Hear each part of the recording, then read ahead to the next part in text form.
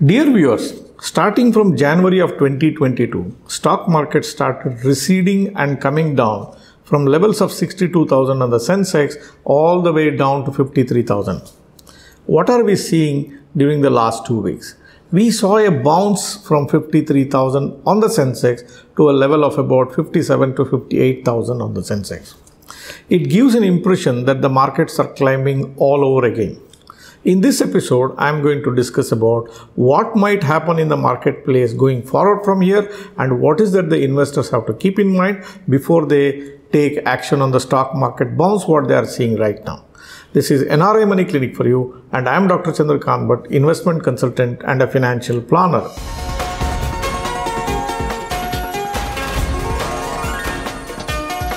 NRI Money Clinic. No hype, just the right advice.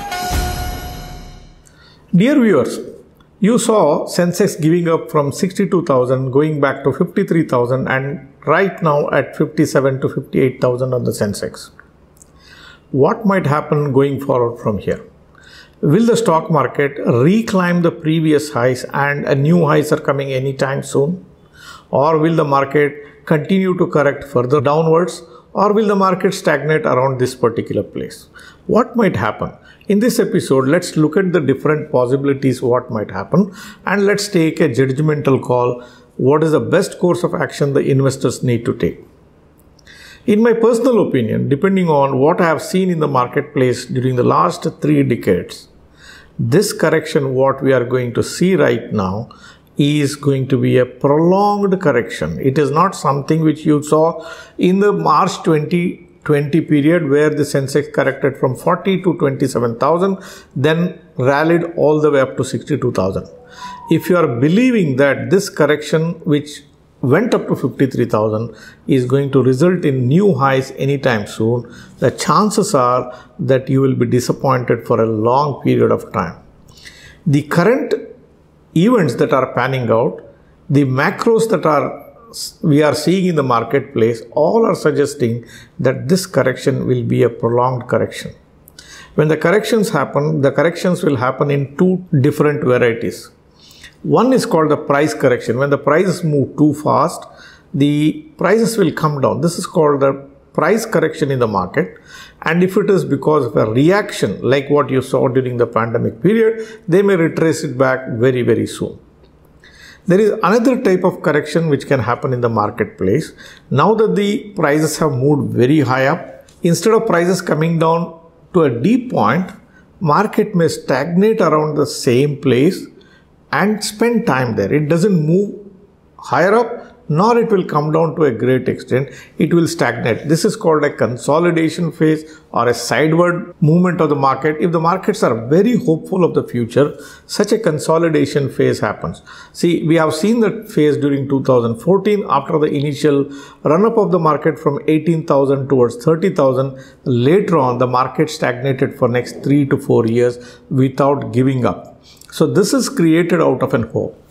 Now in this scenario, are we facing a hope for the future or what is happening at the current time in the marketplace? What might happen in the stock market going forward? Let's look at point by point. If I look at the macro picture across the globe, I see only the headwinds for the market. We do not see any tailwinds. So there is nothing which can propel market on the higher side. Now recently we saw the Ukraine war the Ukraine war was not expected to such an extent. So you can say it's a Ukraine war reaction. But because of this Ukraine war, the crude oil prices have gone very high up. Now, when the crude oil prices go up, the countries which depend on imports for their energy requirements will face the headwinds. India is one such country which depends on imported oil for its energy requirement. So it's a negative for Indian markets. It's its trade bills could go up because of this crude oil prices. It is just not India alone. For several countries in the world, the situation is similar. Even if they are not getting the imported oil from outside, even within their economies, the rise in crude oil prices can result in further inflationary pressures. So, unless the crude oil really comes off or to a manageable levels, this will become a severe headwind for the stock markets not to climb for here onwards. Let's look at the inflation numbers across the globe. If you look at the scenario in US, US has an inflation number of 7% that kind of an inflation numbers has not been seen in US for decades together.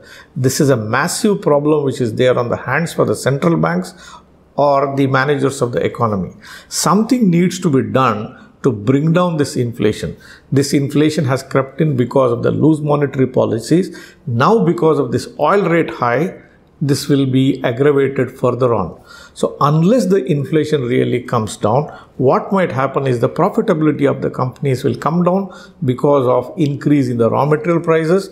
And if they do not have a pricing power to pass on it to the consumers, then the chances are their profitability will come down. So the inflation across the globe today is in an unbearable level. If you look at different countries, in most of the countries, the inflation numbers are very high, interest rates are far lower than the inflation number, resulting in negative interest rates for the investors. So, inflation number clearly tells there is a massive headwind for the stock markets from here onwards. What's happening with the interest rate cycle? The world is just getting out of the pandemic mode to tide over the problems of pandemic, the central banks across globes have followed loose monetary policies, accommodative monetary policies. As a result of which the interest rates are zero or closer to zero or at a very benign level. Inflation is very high. Most part of the world, the interest rates are negative. Now, because of these things, the inflation is getting out of control. The only way the central governments can reverse this situation where the interest rates have to be higher than the inflation is either tame the inflation fully down or slowly start increasing the interest rates. Now the interest rate upcycle will start all over the world and in phases the interest rates are going to move up. When the interest rates goes up, either the cost of the capital moves up or the demand destruction might happen. So the interest rates upcycle beyond a particular point can become a severe headwind for the stock market. So if you look at the interest rate cycle, I can only see the market slowing down from here onwards. The next factor which can decide the course of the market is the growth numbers. As we can see, the growth numbers are quite comfortable. The growth is happening. But when inflation takes over, when the interest rates moves up, it's obvious that it will take a toll on the growth numbers. So growth looks to be okay, but when the interest rates move up and when the inflation is taking over, the chances of growth coming down or stagnating or becoming not that attractive is very much real. So what is the possibility? Again, this will work like a headwind for the markets. Markets cannot expect a very high tick numbers on the growth front. So if you look at any parameters at this point of time, there is nothing which is visible which can say markets are experiencing a tailwind and because of which the markets may move up higher from here onwards. So when I look at all these things in total, what I feel is the best case scenario for the market is market getting stagnant at this point, a thousand points up or a few thousand points down, and it gets stagnant here. That's the best case scenario. But the most likely event which might pan out is that over next few quarters or maybe one or two years, market will slowly starts drifting down and may see much lower levels from what we are seeing right now. That's a distinct possibility. If markets are not going to conquer newer heights, are not going to move up further on from here, are likely to drift down in quarters ahead of us, what is the right thing for the investors to do? In such a scenario, the best thing for the investors to do is to create a multi-asset portfolio. What is the advantages of creating a multi-asset portfolio? A multi-asset portfolio will have different types of asset classes. It will have gold, it will have debt, it will have equity. How equity will perform over period of time, nobody can predict. But if the interest rates are going to go up, if you are in a proper debt funds, then you are likely to be benefited from that. Likewise, if you are invested in commodities or in case of gold, when the inflation rages up, your portfolio will be supported by the valuations of gold. Likewise, when the emerging market currencies go down, if you have gold in your portfolio, that is, will also become a balancer in your portfolio. A multi asset portfolio is the best thing that you can do under such circumstances. Likewise, if you are a long-term investors, all that you have to do is you have to constantly keep on rebalancing your portfolio as per the movement in the stock market. Now let's take the example somebody has set up 40% debt and 60% equity in his portfolio. And because equities have corrected, now the chances are that the proportion of equity has gone down and the proportion of debt has gone up. Now at periodical intervals of time, let's say once in six months or maybe once in a year, you have to reset this debt equity allocation to your predetermined levels. It's a good idea to carry some gold in your portfolio. What you need to avoid is the knee-jerk reaction, getting too much attracted to equity because equity has come down, pouring a disproportionate amount of money into the equity sector, or because gold is moving up, selling something else and taking over position in the gold all these things have to be avoided. You have a balanced approach. Make sure you have debt gold and equity all the three in your portfolio. It's a good idea that you work with the financial planners take their opinion and set your asset allocation in a proper way. That's the right thing to do in such a circumstance. Now let us look at what is that the investors must not be doing in such a circumstance the first thing is giving knee jerk reactions. You are attracted to equity because equity was moving up. Now, equity has corrected. Now, don't lose faith in equities and completely shun away equity and start selling at loss and go and put your money in the bank equities. Avoid any kind of a knee jerk reaction. That should never be resorted. Point two, you should also avoid momentum chasing. The stock market may be coming down, something else is moving up, the commodities are moving up, the gold could be moving up, the bank interest rates are likely to move up. These possibilities are there. So don't try to chase momentum. Something is moving up, that's why you completely shun the other asset classes and move towards something which is moving on the momentum side avoid momentum chasing. Momentum chasing is a loser's game whether it's equity or whether it's gold or whether it is a debt, do not chase momentum. Rather, stick with a balanced portfolio that you have decided to invest in. The third thing that the investor should avoid is abrupt changes to the portfolio. You have set up some asset allocation today. You are staying invested there just because something happened in the marketplace. Do not make abrupt changes in your portfolio. When you are making changes in your portfolio, it should be gradual it should be as per a predetermined timeline once in six months or once in a year and it should be a well thought about action. Do not be reactive in the market. It makes sense for you to be proactive think properly and think about what all the possible situation which might unfold and based on that make well thought out changes in your portfolio. Completely avoid abrupt changes in your portfolios now that I have told this market is not likely to conquer newer highs anytime soon, is it something good for you or is it something bad for you? The answer lies depending on what you do in the marketplace. If you are an indisciplined investor or if you are an investor who is giving a knee-jerk reaction, this may not work out very well for you. But if you are a long-term investor, you have nothing to worry about. If you constantly keep rebalancing your portfolio, you have nothing to worry about. See, two good things or two bad things will not last long. If you see extremely good period, it is certain that these good periods will come to an end. Likewise, if you see too bad a phase in the market, that too will end. So over a period of time, reversion to mean is a rule of nature. Even today's circumstance will follow to a mean levels at some point of time. You should just have sufficient enough patience. No doubt this market will test your patience. Will it come back in a few quarters or it could take a couple of years?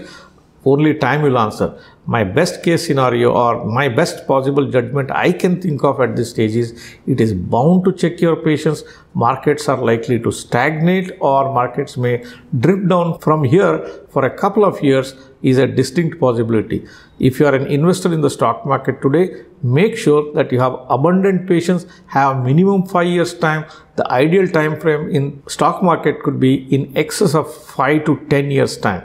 If you do not have a 5 years time horizon, it's best you avoid equities at this point of time.